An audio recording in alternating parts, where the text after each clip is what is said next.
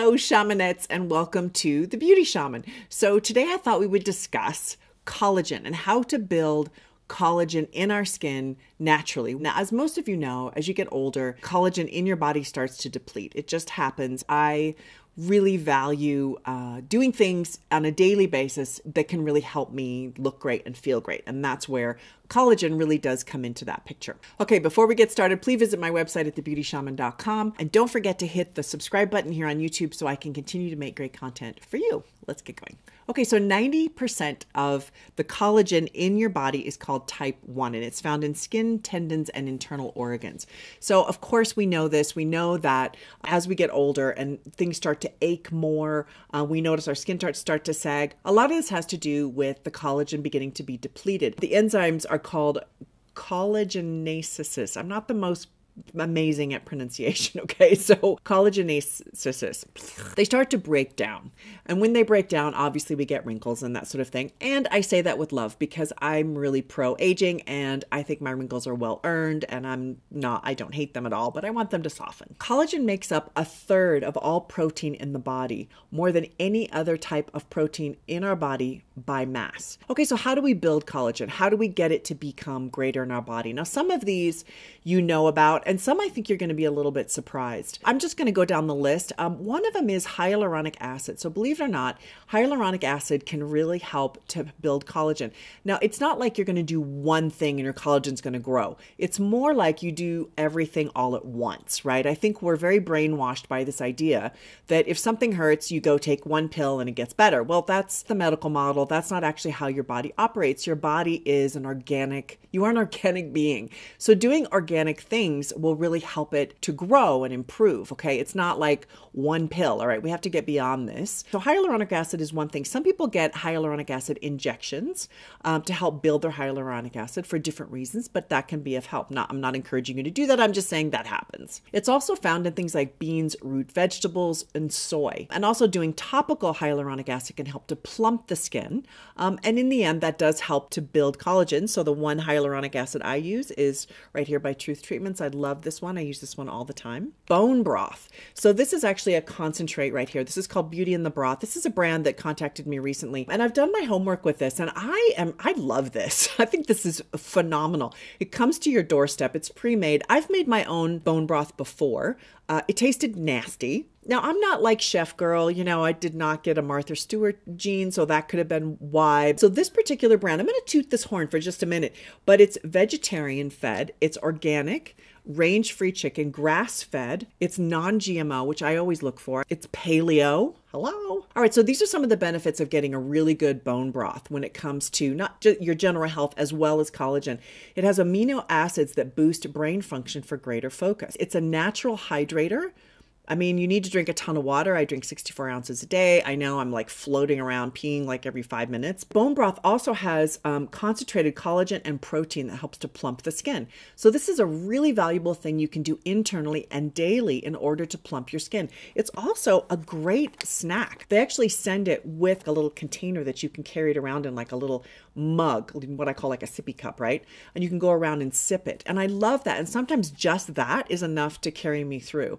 Or maybe I'll add a little bit of vegetables to it, maybe a little chicken or tofu or something like that. It's delicious. It's absolutely so good for you. Bone broth helps to rebuild muscles, maintain joint health, reduce recovery time if you're in surgery, aids in digestion, builds immunity, and it has naturally occurring collagen because it stems from bones. Even though it costs more, I think in the end, I really notice a difference in my health and in my skin. Okay, something else that's going to help you grow your collagen, help to improve your collagen in your body is taking internal vitamin C. So, internal and external vitamin C, it's one of the most if not the most important vitamin you make because your body does not actually make its own vitamin C. You have to take vitamin C. Most of us are depleted in vitamin C. And if you just eat oranges, that's not enough. It's not going to give your body what you need. I actually take a thousand milligrams. I'm supposed to take it three times a day, but I never remember the, the midday thing. So I do it morning and night. What your body doesn't need, it eliminates you can't OD on this, okay? It really helps to build collagen. It also helps to even out your skin tone, supports collagen and elastin production, increases moisture and hydration, diminishes dark spots, helps with antioxidant, is an antioxidant, reduces redness, it lightens and brightens your skin. I mean, vitamin C is like huge. Um, you also can find it, of course, like we said, oranges, citruses, um, green leafy vegetables, papaya, strawberries, black, blah, blah, blah, blah, broccoli, that sort of thing.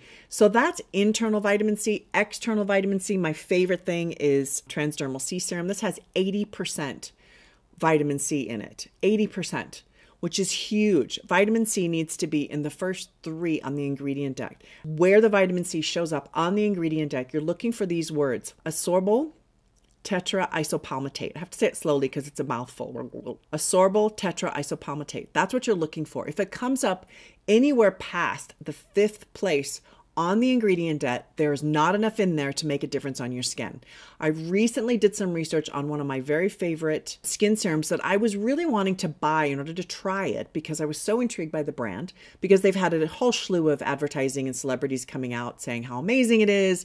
It's $350. Yes, I was considering buying this, which is insane. In any case, I did my research. Ascorbyl tetraisopalmitate came up number 10 on the ingredient deck. Everything else that was before it that are actually the placements where they have the highest ingredient levels were all what I call cosmetics, cosmetic ingredients. In other words, it was what it feels like, what it um, what it smells like, but they weren't active and they didn't do anything. I would have been spending $350 on something that was basically not very effective, which is terrifying to think that I would have done that. So, I mean, really do your homework. Look for those words because externally for building collagen, for building a stronger, healthier skin, you really want to do high levels of vitamin C, at least 50%. Okay, so here's some other things that can help to build collagen aloe vera, uh, taken topically or internally. So that's interesting. I've not tried that. So if you have, please please put that down below. I'd be very interested to hear about that. Ginseng is an anti-inflammatory and antioxidant um, helps with to slow aging. Aging, you can take it in tea, tincture, supplements, that sort of thing. Actually, eating a lot of antioxidants can really help. They protect the body from free radicals, things like blueberries, green tea, yerba mate, licorice extract, mulberry extract, pomegranate extract. You know, also cinnamon, basil, oregano, thyme, essential oils, things like that can really help with antioxidants. All of that is really helpful when it comes to building collagen. Okay, so another great um, collagen builder antioxidant is retinol, which is a vitamin A.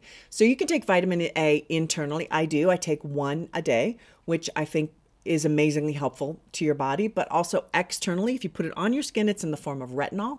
So the one I take here, it's a 5% retinol Truth Treatments. As you know, everything I hold up is Truth Treatments because I love this brand. It's just such a incredible brand. This is 5%, which is super strong. And I know some of you have tried even as high as 1% and you get a lot of irritation from it. So, you know, be really mindful. Most people when they use 1% can maybe use it twice a week and it causes irritation even at twice a week because it starts to, to slough off the dead skin that's on the surface layer of your skin.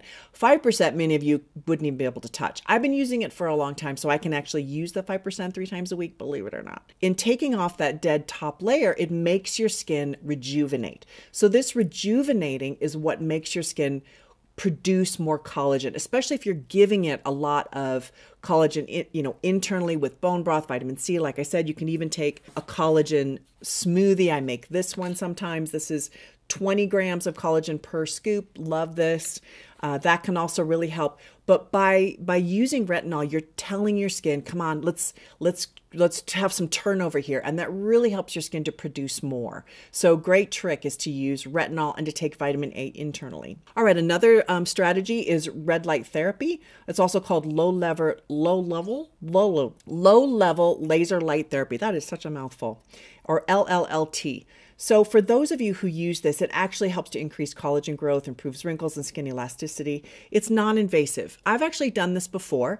I really liked it. I did find it a little spendy. You can get the red light therapy in a like a face mask that you wear, you put on for like 20 minutes every day, and that helps. Those can run two or three hundred dollars. If you have one you like, if you've done this, I would love to hear you write down below because I've not experimented with it too terribly much, but it definitely helps with your skin creating more collagen. Okay, so another way that you can help to build collagen is doing some external things like microneedling. Now, some of you hate microneedling, some of you love microneedling, but they use small needles, and the small needles puncture your skin, and you can have you can look terrible, right, for several days because you just you get holes all over your face, right, and there's blood and yeah.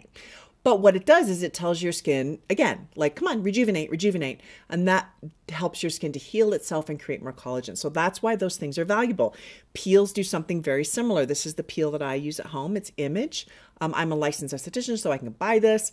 But getting peels done is also really, really helpful. This helps to, again, to slough off the top layer of the skin. And done continually, all of these are about continuous, right? You don't just do it and suddenly you look better. Well, you might notice that, but generally speaking, you do it over a long stretch, and that's what really makes the difference. All right, another way to build collagen is microdermabrasion. Now, some of you are very familiar with this. You basically go to an esthetician and they use a machine that has very tiny crystals, and it does sort of the same thing as microneedling without as serious of a trauma to the skin. It basically exfoliates the top layer and draws out impurities using sort of a suction technique with those tiny crystals. It's non invasive, it doesn't use chemicals, which I really love. It removes dead skin, vacuums the loosened skin cells and debris away, which is wonderful. Increased circulation, opens the skin up to hydration and delivery of nutrients to the skin cells, and stimulates collagen production, which is fabulous. So, obviously, you have to go somewhere to do that. You can also buy a home kit like what I've done. Even though I'm licensed, uh, I did buy this. So this I got this from Skin Store. This is a dermabrasion handheld home device. I'll put a link down below for this. This run, you know, about 200 bucks, I think, because it's 2021 um, holiday. I think there's some sales around this, so do check that out. I'll put a link down below. But this is the machine that I use, and I use it about once a week. I really have to watch the intensity of it. It is very intense. I went way too intense because that is my personality to just go for the gusto. And it took me probably five days to heal couldn't film. I was like, okay, lesson learned. Start with the lowest setting, dude. I definitely say if you want a home uh, machine, that these are definitely worthwhile, and you really only have to replace the little nozzle. I think it's like $20 a month if you use it consistently. So, another way to improve collagen production is to actually take a vitamin especially formulated to help you develop collagen. There's many of these out there. I did hold up my my protein powder, which I do. Um, this is also really wonderful. Truth Treatments makes this. This is collagen vitamins. So these are great. Um, you know, you can find these kind of everywhere. I would definitely do your homework on the quantities to be sure that you're having the highest level of collagen. All right, taking collagen internally helps to strengthen bone and blood vessels, helps you um, improve blood flow, plump and thicken the skin. So, all good, right? Again, this is something that you would do every day to see a long term result. Okay, I just want to cover two areas that are myths that people often say about collagen. I just want to quickly do this because so I've had a few people say these things and I'm like, yeah, no, that's not true. So one is that external collagen creams. So collagen creams typically, now I haven't done research on every single cream, so this is a blanket statement. Do your homework. I always encourage you to do your homework on things. The collagen molecule is just too big to get beneath the stratum corneum in your skin. I don't know of any that have been specially formulated in order to get beneath the layer and actually plump up the skin. So I'd be very interested to see if those of you who have actually used creams that have noticed a difference because, you know, technically speaking, that molecule cannot get beneath your the dermis layer in order to do anything. So very interested to hear about that. Um, also, adding collagen to your morning coffee. Coffee is not the best thing for anti aging. Now, I love coffee. I have a cup of coffee every morning. I'm going to have one till the day I drop dead because I just love coffee. So, adding collagen to your morning caffeine is counterproductive, basically, because caffeine is dehydrating. Collagen is meant to plump and it needs hydration to do that. And it's hydrating. So, you're basically canceling each other out. So, end of that story is do not put collagen in your morning coffee.